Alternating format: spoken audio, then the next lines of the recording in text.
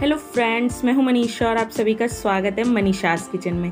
तो चलिए फिर दिवाली स्पेशल आज की ये टेस्टी और डिलीशियस सी रेसिपी बनाना स्टार्ट करते हैं। आप ये देखने से ही पता लगा सकते हैं कि कितनी टेस्टी कितनी यम्मी बन के रेडी हुई है। मैं आज आप सभी के साथ शेयर करने जा रही हूँ फ्रेश नारियल के लड्डू, जो बहुत ही यूनिक और बहुत अलग तरीके से मैं बनाने वाली हूँ। तो आप पूरा वीडियो ज़रूर वॉच करें। चलिए फिर शुरू करते हैं बनाना। तो सबसे पहले मैंने यहाँ पे चार मीडियम साइज़ के नारियल को अच्छे तरीके से छील लिया और उसे बारीक बारीक कट करके और ब्लेंडिंग जार में अच्छे तरीके से फाइन यहाँ पे पीस लिया है। और उसके बाद हम यहाँ पे ले लेंगे, मैंने गैस पे चढ़ा दी है कढ़ाई। आप नॉन स्टिक कढ़ाई भी ले सकते हैं। आपके पास जो कढ़ाई हो और यहाँ पे फुल फैट मिल्क मैं यहाँ पे इस्तेमाल कर रही हूँ, एक लीटर। आप चाहें तो बॉयल मिल्क का भी इस्तेमाल कर सकते हैं, कच्चा मिल्क भी इस्तेमाल कर सकते हैं, क्योंकि हमें मोस्टली इसको बॉयल ही करना है। और थोड़ा सा मैंने यहाँ पे पानी भी ऐड किया है ताकि दूध नीचे लगे नहीं। और इसको अच्छे तरीके से, हाथ से अच्छे तरीके से हिलाते हुए इसको अच्छे से बॉईल करेंगे। बार बार आप दो दो मिनट पे आप इसको बॉईल करते रहिए, बिना किसी प्रॉब्लम के। बहुत ही टेस्टी और बहुत ही हेल्दी बहुत ही रिफ्रेशिंग ये मिठाई बन के रेडी हो जाएगी। इस तरीके से आप अच्छे तरीके से इसको कुक कर लीजिए। तो ये आप देख सकते हैं, इसमें बॉईल आना स्टार्ट होने वाला है। तो मैं इसको बीच बीच में अच्छे तरीके से स्टर कर रही हूँ ताकि दूध नीचे लगे नहीं तले में। और ये आप देख सकते हैं, बहुत अच्छे तरीके से इसमें बॉईल आना स्टार्ट हो चुका है। आपको ये दूध को ना थोड़ा सा अच्छा थिक करना है, बहुत ज़्यादा भी आपको बहुत भी थिक नहीं करना है, बस जैसे हमने एक लीटर दूध लिया है तो थ्री फोर्थ कप बच जाए, उतना आपको यहाँ पे थिक करना है। तो मैं यहाँ पे थोड़ा सा मैंने एक टेबल स्पून अरारोट को एक चम्मच पानी में घोल के वो मैंने यहाँ पे ऐड कर दिया ताकि दूध जल्दी थिक हो जाए। ये बहुत फ़र्स्ट टिप है, दूध जल्दी थिक करने का और बहुत जल्दी हो जाएगा ना, बहुत ज़्यादा गाढ़ा होगा ना, बहुत ज़्यादा पतला रहेगा, ये आप देख सकते हैं। कंसिस्टेंसी और इसको अच्छे से चलाते हुए इसको स्टर करिए ताकि इसमें कोई भी लम्ब्स बनने के चांस ना हो। जैसा कि आप स्क्रीन पे देख सकते हैं, बहुत अच्छे से मैंने यहाँ पे दूध देख सकते हैं आप, कढ़ाई में ऊपर तक था और अब थोड़ा नीचे हो गया है। तो दूध अच्छे से बॉईल हो चुका है तो अब हम यहाँ पे ऐड कर देंगे अपना नारियल को और इसको अच्छे तरीके से मिक्स कर लेंगे। बिल्कुल कंटिन्यूसली आप लेडल चलाते हुए इसको मिक्स करिएगा, ताकि इसमें कोई भी लम्ब्स ना आए। तो ये आप देख सकते हैं, मैंने इसको अच्छे तरीके से मिक्स कर लिया है। दो से तीन मिनट आपको भले लग जाए, लेकिन आप इसको बहुत अच्छे से मिक्स करिएगा। ताकि बहुत ही अच्छी हमारी मिठाई बन के रेडी हो। और यहाँ पे मैंने चार से पाँच इलायची के बीज निकाल लिए हैं। मैंने पाउडर ऐड नहीं किया है। और आप इसी स्टेज पे ऐड करिएगा, जिससे बहुत ही अच्छा इलायची का रिफ्रेशिंग टेस्ट आएगा। लास्ट में ऐड करने से उतना ज़्यादा टेस्ट नहीं आता, जितना स्टार्टिंग में ऐड करने से आता है। तो ये मेरी सेकेंड टिप आप ध्यान रखिएगा। यहाँ पे मैं 240 फोर्टी के कप से एक कप मैंने यहाँ पे चीनी ले ली है। आप अपने अनुसार जैसा आपको मीठा पसंद है, कम या ज़्यादा, उस हिसाब से आप ले सकते हैं। और इसको मैंने अच्छे से मिक्स कर लिया और फिर से मैंने आधा कप चीनी मैंने यहाँ पे और ऐड की है। और दो टेबल स्पून भर के मैंने यहाँ पे ले लिया है मिल्क पाउडर आप कोई सी भी ब्रांड का ले सकते हैं। मैंने यहाँ पे अमूलिया ब्रांड का मिल्क पाउडर इस्तेमाल किया है। और इसको अच्छे तरीके से मिक्स कर लेंगे। बहुत ही अच्छा बहुत ही क्रीमी लगेगा। आप ये ज़रूर ऐड करें। अगर आप मिल्क पाउडर ना ऐड करना चाहते हो तो दूध की मलाई आप यहाँ पे ऐड कर सकते हैं। बिल्कुल ऑप्शनल है।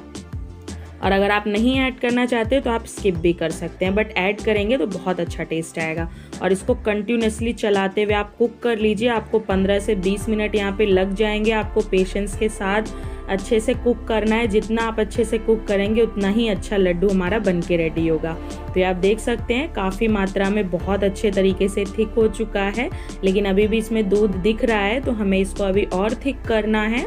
आपको बस ये ध्यान रखना है ना, बिल्कुल इसका दूध जो हमने यहाँ ऐड किया है ना, वो पूरा सूख जाना चाहिए। और ये जो हमने अभी नारियल ऐड किया है ना, उसके दाने फूल जाते हैं, बिल्कुल, और ये आप देख सकते हैं।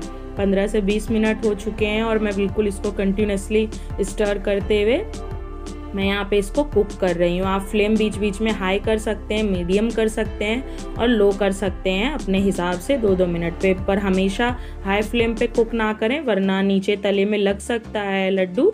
तो इस बात का आप ध्यान रखें ये देखिए, पूरा अच्छे से ये थिक हो चुका है, सारा दूध अच्छे से एब्जॉर्ब हो चुका है नारियल में, इस स्टेज तक आपको यहाँ पे कुक कर लेना है। बहुत ही अच्छे से इस बात का आप ध्यान रखें। अब मैं गैस बंद कर दूँगी और इसको बिल्कुल अच्छे से मैंने यहाँ पे प्लेटफॉर्म पे रख लिया है कढ़ाई को और इसको अच्छे तरीके से हम ना लेडल से चलाते हुए ना इसको थोड़ा सा ठंडा कर लेंगे। दो से तीन मिनट के लिए आप चाहें तो फ़ैन में भी रख सकते हैं। और ये देखिए, थोड़ा सा मैंने यहाँ पे पाँच मिनट ठंडा कर लिया और अब मैंने ले लिया यहाँ पे एक प्लेट। और हम, मैं इसमें यहीं पे जमाने वाली हूँ बर्फ़ी को। आप चाहें तो आप बर्फ़ी बना सकते हैं, लड्डू बना सकते हैं। तो मैं आगे आपको बताने वाली हूँ। तो पहले मैं यहाँ पे लगा लूँगी अच्छे से घी, ताकि जब हम इसमें डालें अच्छे से ये मिक्सचर तो वो बिल्कुल भी चिपके नहीं। और अब मैं यहाँ पे ऐड कर दे रही हूँ हमारा मोस्ट ऑफ़ द टिप मैं यहाँ पे ऐड कर रही हूँ दो टीस्पून घी। और ये कच्चा घी आप ऐड करिएगा, इससे बहुत अच्छी रिचनेस आ जाएगी हमारे लड्डू में, बहुत अच्छा शाइन आएगा, बहुत टेस्टी बनेगा। और छोटी छोटी बातों का हम ध्यान रखते हैं ना तो बहुत ही अच्छी हमारी मिठाई बन के रेडी होती है। तो ये देखिए, मैंने अच्छे से मिक्स कर लिया और अब ये ग्रीस की हुई प्लेट में हम सारा यहाँ पे मिक्सचर ऐड कर देंगे। देख सकते हैं बहुत अच्छे से, दूध अच्छे से अब्जॉर्व हो चुका है। और इसमें भी मैं यहाँ पे इसको अच्छे से फैला लूँगी। आप चाहें तो इसको अच्छे से फैलाने के बाद इस पर बादाम, काजू कुछ भी अपने हिसाब के नट्स आप लगा सकते हैं और इसको फ्रिज में एक से दो घंटे के लिए सेट होने दीजिए और बर्फ़ी की तरह शेप कट कर लीजिए। इस तरीके से भी आप बना सकते हैं। बट मैंने यहाँ पे एक घंटा रेस्ट पे रख दिया और ये देखिए कितने अच्छे तरीके से यहाँ पे बिल्कुल अच्छे से ड्राई हो चुका है। अगर आपको लगे कि इसमें थोड़ा सा मॉइस्चर है तो ये सबसे मोस्ट इंपॉर्टेंट है कि अगर मॉइस्चर आपको लगे बाय चांस तो मैंने यहाँ पे ऐड कर दिया है पाँच टेबल स्पून यहाँ पे मैंने ऐड कर दिया है नारियल का बुरादा, जो डेसी डेसिकेटेड कोकोनट भी कहते हैं इसको मार्केट में इजीली अवेलेबल हो जाता है। तो वो मैंने यहाँ पे इसको मिक्स कर दिया ताकि लड्डू में और अच्छा टेस्ट आए। तो ये देखिए, और बस इसको ऐसे मिक्स कर लेंगे अच्छे से, और गोल गोल हम अपने अच्छे बिल्कुल डिलीशियस से लड्डू बना के रेडी कर लेंगे। और अगर आप लड्डू नहीं बनाना चाहते तो आप इसको बर्फ़ी की शेप में, बस फ्रिज में एक से दो घंटे के लिए सेट होने दीजिए और कट करके आप बर्फ़ी की शेप कर लीजिए। ये टोटली आपके ऊपर है। तो ये देखिए, मैं यहाँ पे यार लड्डू बना रही हूँ। बहुत ही टेस्टी लगता है। इस तरीके से बिल्कुल फ्रेश नारियल का टेस्ट आता है। तो इस तरीके से मैंने सारे लड्डू बना के रेडी कर लिए हैं। और आप देख सकते हैं कि देखने में कितना डिलीशियस कितना यम्मी लग रहा है। और बाहर की मिलावट से भी बिल्कुल भी आप बचें और घर में फ्रेश बनाएँ और आप देख सकते हैं कितना ये यम्मी लग रहा है देखने में। आप चाहें तो ऐसे भी इसको सर्व कर सकते हैं बट मैं थोड़ा सा इसको और अच्छे से सर्व करना चाहूँगी। तो मैंने यहाँ पे ले लिया है फ़ूड कलर तो मैंने यहाँ पे रेड फ़ूड कलर ले लिया है पिंच ऑफ़ फ़ूड कलर और उसमें मैंने यहाँ पे ऐड कर दिया एक टीस्पून पानी और उसको मैं ऐसे हाथ की सहायता से उंगली की सहायता से एक एक बूंद यहाँ पे टच कर रही हूँ और ये आप देख सकते हैं लड्डू के ऊपर कितना अच्छा लग रहा है देखने में, कितना डिलीशियस लग रहा है, ऐसा लग रहा है मार्केट से खरीद के लाया, बल्कि मैं कहूँ उससे भी ज़्यादा अच्छा। और ऐसे मैंने ग्रीन कलर ले लिया है फ़ूड कलर और वो मैंने यहाँ पे ऐड कर दिया। अगर आप ऐड ना करना चाहते हो कलर तो आप केसर के धागे को भी दूध में अच्छे से ले सकते हैं और उसका कलर भी आप यहाँ पे ऐड कर सकते हैं। टोटली आपके ऊपर है।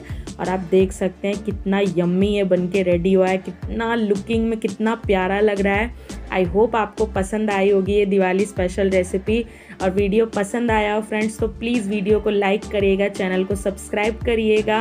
और अपने फ्रेंड्स एंड फैमिली में शेयर करना मत भूलिएगा। और अपने प्यारे प्यारे कमेंट्स में मुझे ज़रूर बताइएगा कि आपको आज की ये रेसिपी कैसी लगी। और ये देखिए, मैं आपको एक लड्डू तोड़ के भी दिखा रही हूँ। कितना सॉफ्ट कितना मॉइस्ट बन के ये रेडी हुआ है। आप देख सकते हैं कितना सॉफ्ट है। और आप इसको इजीली पंद्रह दिन के लिए फ्रिज में स्टोर कर सकते हैं। कोई प्रॉब्लम नहीं आएगी। तो मिलती हूँ मैं आपको नेक्स्ट वीडियो में। Thank you for watching stay connected